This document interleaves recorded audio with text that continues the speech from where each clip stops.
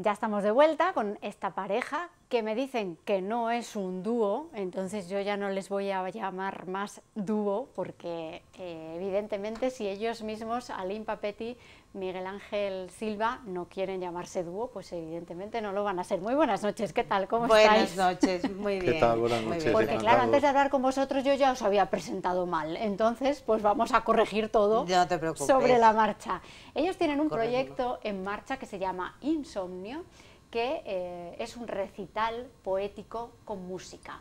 Aline escribe poemas, relatos, cuentos cortos, por ejemplo, y Miguel Ángel toca la guitarra, la guitarra española, y entonces han decidido, ya que ellos se llevan muy bien porque son matrimonio, así que ya tienen una base bastante fundamentada, han decidido ponerlo en común, la música, la narrativa, para poner en escena este proyecto, ¿verdad? Muy buenas noches, Buenas noches. ¿Cómo surgió esto? ¿Cómo nació Insomnio? Bueno, Insomnio nace, eh, en principio, mmm, yo solamente he escrito, he escrito yo creo que casi toda mi vida, mmm, y se nos ocurre un día eh, tener un acompañamiento acústico. Michel es un gran músico, aunque a él no le guste que lo cataloguen como un gran músico, pero no es. Es músico, estudia, tiene una carrera de música y toca muy bien la guitarra española. De hecho, es su, para mí es su instrumento, es como un apéndice de su guitarra, aunque también toca el bajo, teclado, de todo un poquito. Entonces mmm, se nos ocurre la idea de fusionar mmm, mis poemas, mis cuentos y mis relatos cortos con un acompañamiento acústico, en este caso de guitarra española, que así además mmm, dejamos un poco un toque español en, sí, que le da en, nuestro, en nuestro proyecto. Sí. ¿Quién, eh, la base son los textos de Aline. Efectivamente. ¿Y tú te adaptas luego a esos textos para sí, ponerle trato, ese ritmo? ¿Cómo hacéis? Trato de matizar. Eh, he, huido, he, huido, un poco de los temas clásicos de guitarra, porque aparte que ya se ha hecho bastante, eh, precisamente en esa fusión que pretendemos es un poco el transmitir, el adaptarse al texto, a determinados momentos del texto, determinada, claro, en todos los cuentos o relatos, perdón, tienen el mismo contenido, entonces, en función de eso, adaptar eh, música pues que en ese momento más o menos improvisada. Yo le agradezco las palabras que iba a decir mi mujer de mí como gran músico. Bueno, llevo tiempo en la música y bueno, soy, soy músico eh, que me encanta la guitarra, me encanta el bajo, me encanta en definitiva esto. Y bueno, un poco la idea era lo que ella decía.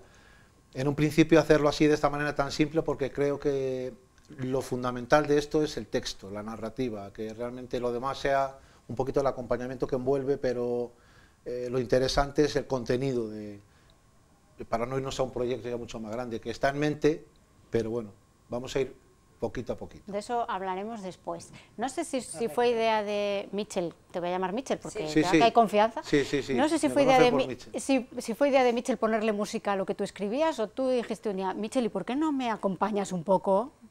¿Cómo fue? Yo creo que estamos tan compenetrados que la idea ha surgido eh, al unísono entre ambos, por mi parte y por la suya.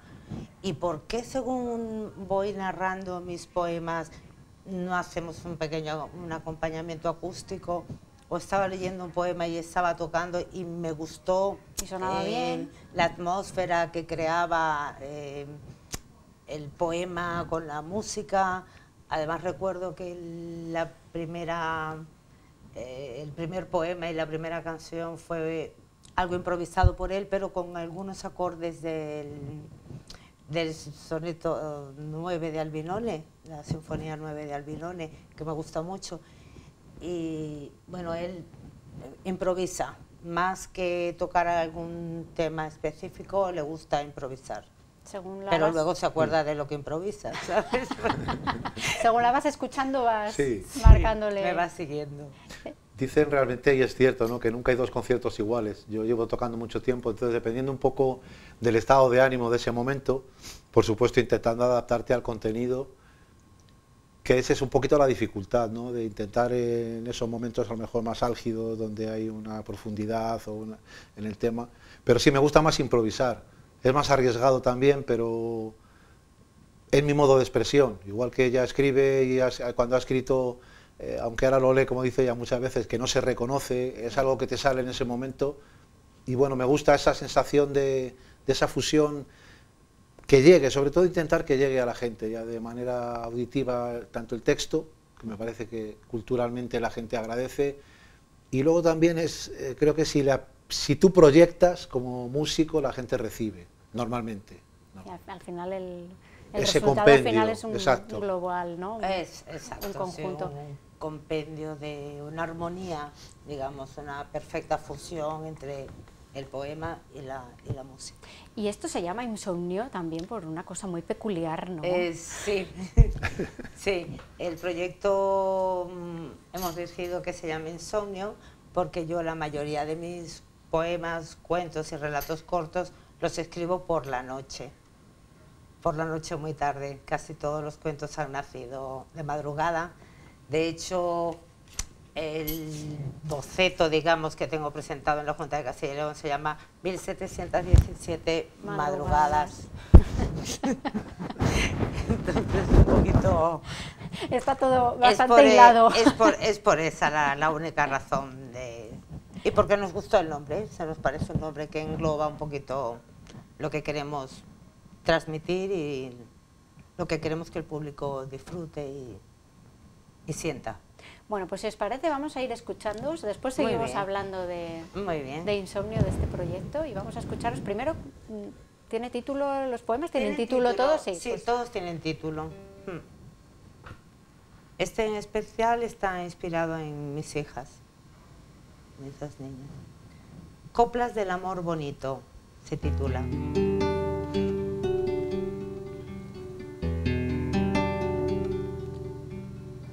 Te estoy llamando desde el útero materno. Te estoy llamando desde el aire que te despeina. Te estoy llamando desde la luz del alba. Te estoy llamando niña. Te estoy llamando lucero. Déjame verte por primera vez. Deja que me enrede en tus cabellos. Deja que desmonte mi caballo y ponga flores en tus pies. Déjame brindarte mi tesoro y rasgar el universo sobre ti. Mereces la brisa del mar y esa pincelada de color en tus mejillas. Impregnaste tu cuerpo con la sal y te vestiste de febrero para obsequiarme tus atributos con perfumes de jazmín. Esparciste los juguetes del amor y te ofreciste tan bonita que la tierra tuvo envidia de tu reflejo y se agotó de obsequiar flores. Vulneraste el curso de la naturaleza. Ilumíname el entendimiento. Mánchame el rostro con tu carmín. Susúrrame tu canción de amor al oído y dime a qué país viajarás. ¿Qué senderos rozarán tus manos mañaneras? y en qué puerto le sonreirás al amor. Llegaste cultivando la tierra y ahora es la tierra la que te ve nacer.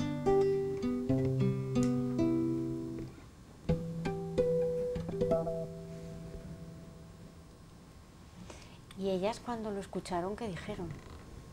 Mis hijas se han enterado ayer porque son un poquito son un poquito especiales y no querían protagonismo, ningún tipo de protagonismo, entonces, bueno, la pequeña realidad se sabía porque la próxima, el próximo poema es para ella, de hecho, se llama Mabel Lucía, María Isabel Lucía, y el poema se llama Lucía, y, y sí lo sabía, pero bueno, Ahí las vamos a dejar en el anonimato. Sí, sí, sí, sí, por supuesto. Para que, para que no me riñan ni haya ningún, ningún problema. Tal y como está el tema de la prensa hoy día, de los paparazzis y tal. Se quieren mantener al margen por si acaso esto funciona.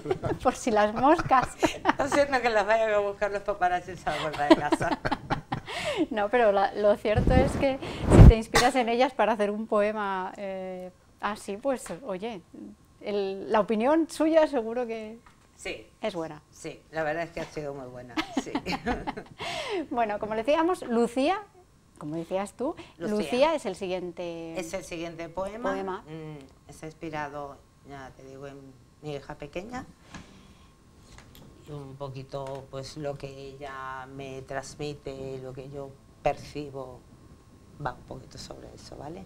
Visión de madre también, porque Visión de madre casi era el primer poema, pues ahora un poquito más. se llama eh, Lucía.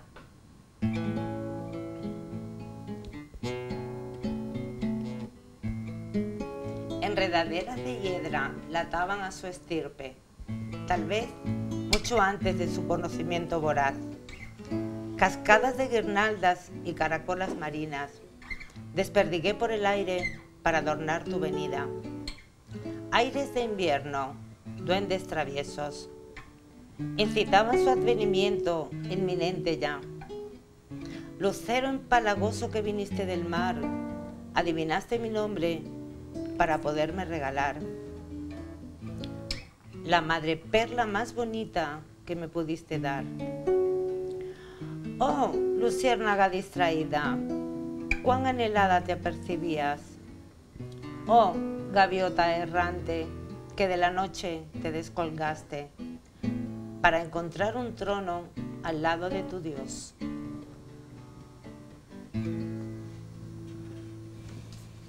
Ahí acaba Lucía. Así acaba Lucía. Qué bonito. No sé si habéis hecho ya recitales. Todavía no, mira, estamos este esperando. Es el primero, entonces. Este es el primero y, bueno, desde aquí, aunque ya sé que no se puede hacer publicidad, pero bueno, que estamos abiertos a, a cualquier. hemos, le hemos querido dar un enfoque también de manera que tenga una. para que llegue a cualquier tipo de público, que sea algo dentro de, lógicamente es cultural, pero que sirva desde colegios para introducción a los niños. yo creo que estamos eh, apartándonos en ocasiones a veces un poco de este tipo de sentimientos de, poesía, de acercarlo a personas mayores, a ancianos, no ancianos, teatro, es decir, creo que puede tener cabida y de hecho en, muchas, en, muchos programas de fiestas, festejos, hay espacios concretos para este tipo de áreas, que me parece un acierto, ya independientemente me da igual que sea esto, como que sea pintura, como sea todo lo que sea eh, un poquito recuperar el arte, y entonces un poco va eh, enfocado a eso, a, tiene, tenemos cabida pues prácticamente en, muchos, en muchos eventos. Esta semana, sea. Esta semana se celebraba el Día Internacional, el Día Mundial de la Poesía. Sí. Quizá a lo mejor es el género literario un poco más... Mm, el hermano pequeño, ¿no? Que la gente parece que no sigue mucho la poesía. No sé si con iniciativas como esta creéis que puede ayudar a que la poesía también tenga más importancia, la gente lo siga más, lea más poesía. Yo creo que la gente eh, lee más poesía de lo que De lo que dicen. Sí, de lo que dicen. Porque parece que al decir mm, yo leo poesía o me gustan los libros de poesía, eh, a lo mejor parece que la vamos, vamos a tildar a esa persona de sentimental, Mm, melancólica, dulce, y a veces la gente no quiere proyectar esa imagen de sentimental, ¿no? tan tierna o depende también de los poemas, claro. Pero quien no ha leído a Machado, quien no ha leído a Lorca, o sea, tenemos grandes escritores, grandes poetas españoles de todos los tiempos y mundiales, que yo creo que quien no sabe un texto de Becker. Por ejemplo. Por ejemplo, se me ocurre. Entonces, pienso que la gente lee más poesía de lo que, de lo que en realidad se, se dice. Y bueno, pues la idea nuestra es eso, pues acercarla un poquito más y, y, abrirla, ¿no? Abrir un abanico para que la gente mm, vea que no solamente la poesía habla de amor, de desamor, mm, o de... Que no son solo penas, por no ejemplo. Son solo penas, ni es solamente alegría, la poesía puede englobar... Yo de hecho mm, me bandeo de un extremo a otro, ¿no? Eh, tengo una poesía por aquí que no sé si la voy a leer hoy, eh, se llama Abominable Existencia y os puedo advertir que es bastante fuerte el texto. Es más, os lo voy a leer. Venga, búscalo. Os Os lo voy a leer. No, Venga. espera, Uri, hace que ya, que ya ha puesto la cejilla. Haz primero Ah, la de- Ahí la tenemos de- la guitarra preparada para otra Ah, cosa. claro. Primero Vale. lo otro y Eh. luego ya abominable existencia. Venga. Vale, luego, pero ya, luego ya lo que tú quieras. Sí. esto es una sorpresa que os teníamos. Vale. Eh, esto se ¿Me sale. dejas que se lo cuente? Sí, por favor. Venga. Esto se le ocurrió ayer por la mañana. La hizo la poesía, bueno, la poesía, el homenaje, eh, por decirlo así, un poco al flamenco, al sentimiento, al quejío. De hecho, hay palabras de, de, Ca- de Caló. Y se le ocurrió ayer por la mañana, entonces te puedo asegurar que en 15 minutos lo hizo. Mm, Yo ya me vengo sorprendiendo ya de sus escritos, pero lo de ayer, digamos que sobre todo por, por el tratamiento que hace, yo toco también aparte en otras formaciones flamenco, a mí me toca mucho, Sí. toco en esas formaciones, toco el bajo, tengo muy buena relación, sobre todo con, con músicos de- del colectivo gitano, que realmente, lo digo además con letras grandes, porque seguro que me van a ver, y me apetece porque estoy trabajando con gente pura, de sentimiento, de donde realmente las raíces del flamenco, queramos o no, y el arte y el quejío Sí. y el lamento lo tienen ellos, estoy aprendiendo con ellos muchísimo, llevamos ya casi cuatro años. Y al margen de eso que se le ocurrió a ella, yo claro, voy a hacer unas pequeñas pinceladas, obviamente no voy a tocar ningún palo, como se llama en el flamenco, concreto, ni bulería, ni bulería por soleá, porque eso ya eh, son palabras mayores y se lo dejo pues a, a los maestros, la gente que toca conmigo. Con ellos yo toco el bajo y desde aquí pues aprovecho para mandarles un abrazo fuerte porque me están aportando muchísimo. Personal, personal y me gusta también, no sé, si ella está de acuerdo conmigo en darles ese voto de confianza también, ¿no? A, esta- a este colectivo que, que es gente que, es- que tienen el arte, que tienen arte. Tienen el arte desde que nacieron y vamos a dejarlo ahí. Ya está. Pues adelante. ¿vale? Venga, empezamos. Bueno, este, este poema le he titulado Lágrimas de mi guitarra.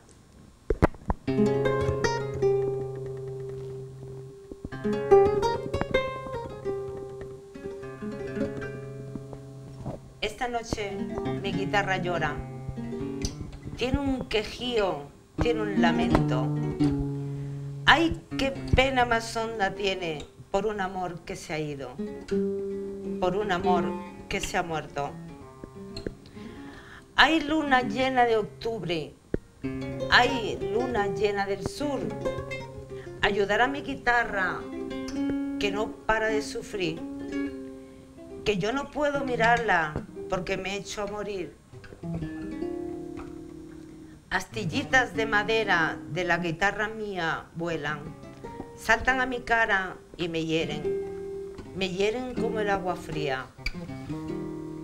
Y no paro de sangrar, y no paro de llorar. Ella es el alma mía y no la puedo olvidar. No me digan que no mire a la ventana de María, porque mis sacáis están derramando lagrimitas de la pena mía. Y si ella me está mirando, que se apiade de mi corazón. Mi corazón que en la candela se quema porque la lumbre aún no se apagó. Como navajas en el aire cuando nuestras miradas chocan y la chispa que se desprende enciende más mi pasión.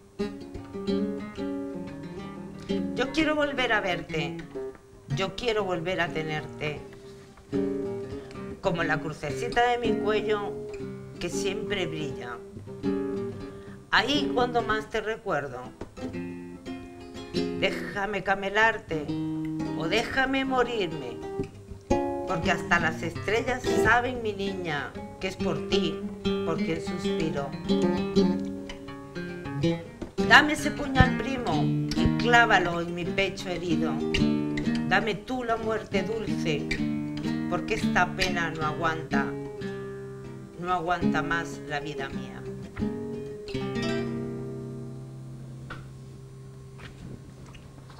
Ellos no pueden aplaudir, pero se quedan con ganas. Y así vemos que, eh, que Aline también toca todos los palos, ¿no? Decía antes que, que abarcaba todo, que escribía sobre todo. Nunca mejor traído, ¿no? Lo de los palos. Ahora sí, ahora la abominable existencia, para terminar, si os parece, respirar Sí. un poco. Muy bien. Vamos con... Porque es eh, otra muestra de otro tipo de relatos y de, y de diferente. poesías y de textos que, que Totalmente escribes. distinto. Sí, esto se sale un poquito de, de todo. No tiene nada que ver con, Con nada de lo que hemos escuchado con hasta nada ahora. de lo que hemos escuchado hoy, de lo que he leído hoy. Pero bueno, ha salido del mismo sitio donde ha salido todo lo demás, de mi mente, de mi corazón y de mi alma, y, y ahí va. Eh, se titula Abominable Existencia.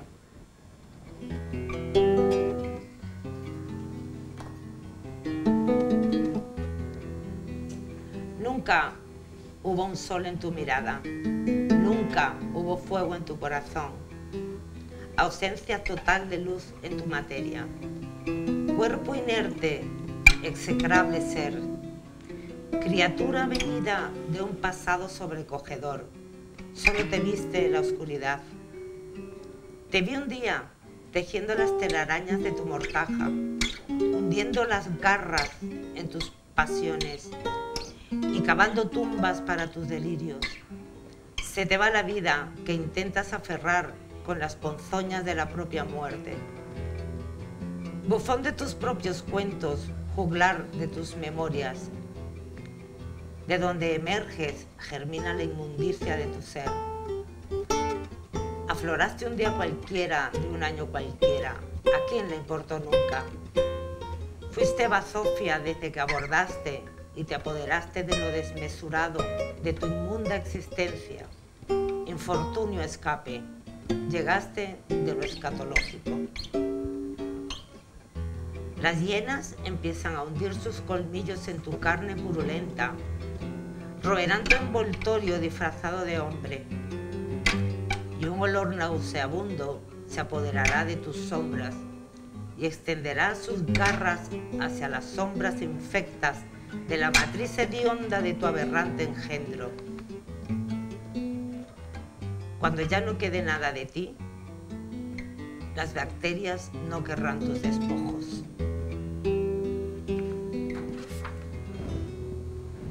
Me da miedo hasta a mí.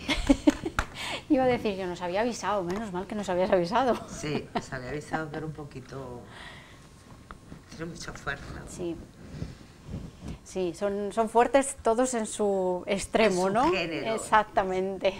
Ha sido un placer, Mitchell, Aline, Igualmente para Igualmente. vosotros. de Muchísimas verdad. gracias. Muchísima suerte, o mierda, en este caso, ¿no? Sí. Porque esto Sí. del espectáculo es lo que tiene. Sí, Esto es del lo que dice, espectáculo es lo que es... mm, ¿Es así? Se dice Eso mucha es. mierda. Muchísimas gracias. Gracias a ti. Gracias a vosotros y y gracias a ti. Y a toda la tele, a todos los compañeros en general. Y hasta otra.